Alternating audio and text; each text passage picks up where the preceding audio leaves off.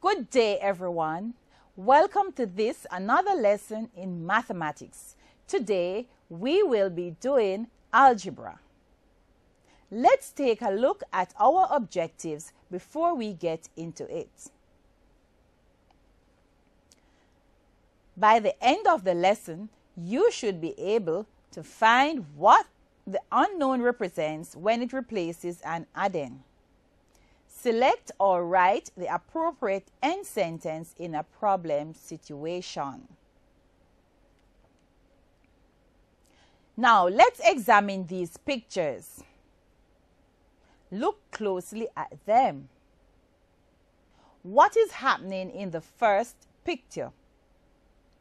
What is happening in the second picture?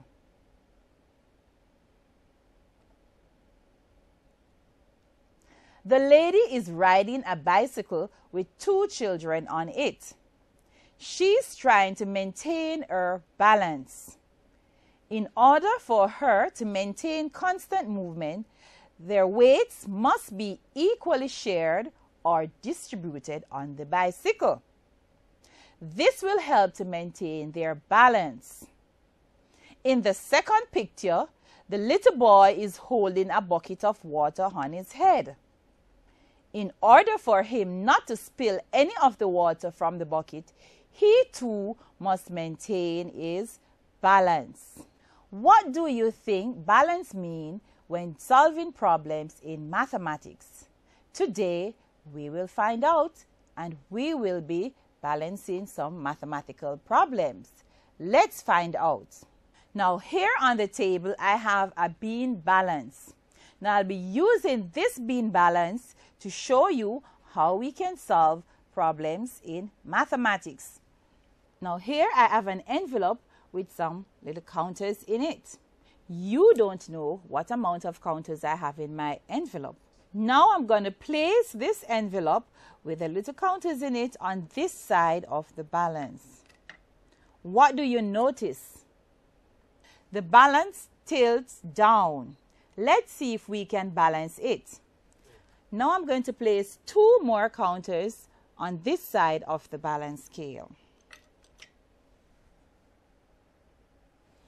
Now we're going to place counters on the other side to ensure that it is balanced. Is it balanced now? No, it is not. Let's go and see what amount over here will help us to balance the scale. Let's place our counters. One, Two. Is it balanced? No. Three. Is it balanced yet? No. Four. Is it balanced yet? No. Five. Is it balanced yet? No. Six. Is it balanced now? Let's give it some time to settle.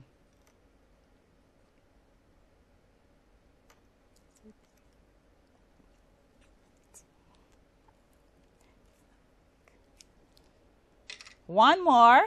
Is it balanced now? Let's check now to see how many counters we have in the bag.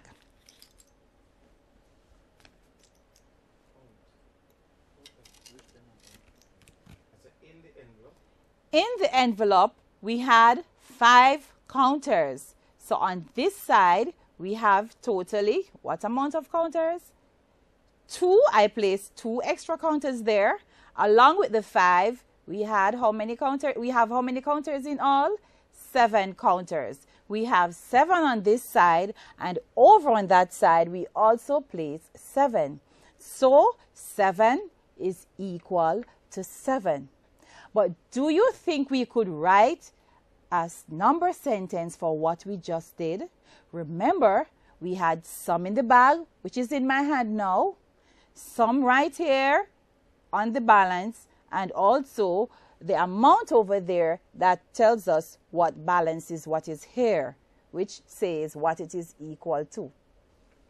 Let's now see if we can write that number sentence. Remember, we started with Two,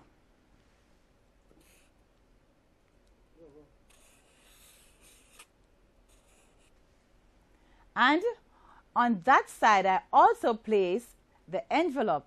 The envelope is what represents the unknown. Now, in this case, I'm going to use the letter N to represent what was in the envelope. So it's 2 plus N. And what was the total amount we had on the other side? 7. So that is equal to 7. Now, this is how we would write the number sentence to represent what we just did. N could be any symbol. We could use the letter Y or P or M. In this case, we are using N, which represents what we had in the envelope. Now, boys and girls, we're going to look at the steps that can help you to solve this problem. Step 1. Think of what to remove to get n equal. For example, in the, eh, in the problem we had, 2 plus n equal 7. If we are to get n equal in this situation, it would be n equals 7. So what do we need to get rid of? We need to remove the 2. Step 2. Remove it by doing the opposite operation. Addition is the opposite of subtraction. In this case, the opposite of addition is subtraction. So we are going to subtract. If you look closely here, you'll still see your problem. 2 plus n equals 7. However, we are taking away the 2 from both sides of the equation.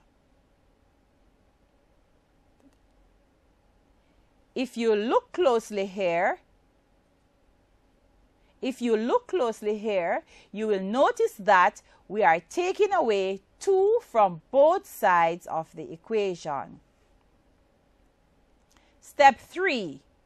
Do that to both sides.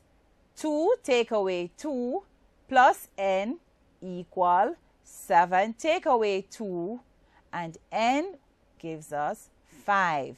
n equals 5.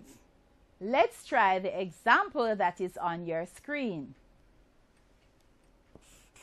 b plus 5 equal 8. Remember, we're going to think about which of the addend we should get rid of. So we have b equal 8. So here we go. b plus 5, we're adding here, so we're going to take away 5 equal 8. And because we took away 5 here, we're going to do the same thing over here. Let's solve it now. We have here b plus 5 take away 5 equal 8 take away 5. b 5, you have 5 things and you give away 5 things, so nothing is left.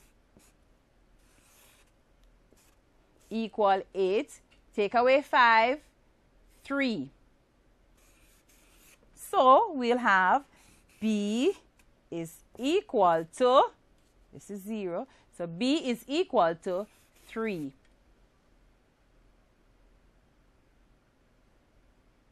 Do you understand that, boys and girls? I hope you did. Now, let's think of a problem situation where we could use the steps we learned earlier to solve. Let's look at the screen. John has five marbles. His friend Marlon gave him a few more. He now has nine marbles. Can you write a number sentence to show this? Remember, he has five marbles. His friend gave him a few more, a number in which you don't know yet. So you are going to use a letter of the alphabet or a symbol to represent the few that he got. But he now has a total amount of nine marbles. Let's see if you can write that. I'll give you a few minutes to do it.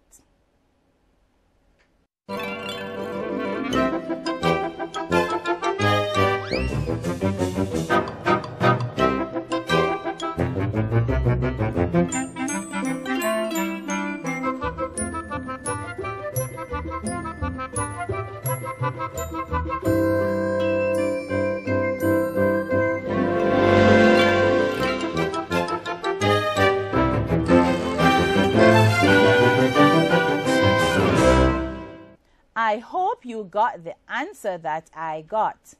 5 plus n or whatever your choices of letter that you choose equal 9. Let's review our objectives. Were we able to find what the unknown represents when it replaces an addend? Yes, we did. Did we select or write the appropriate end sentence in problem situation? We did. I hope you had fun doing this lesson. See you next time around.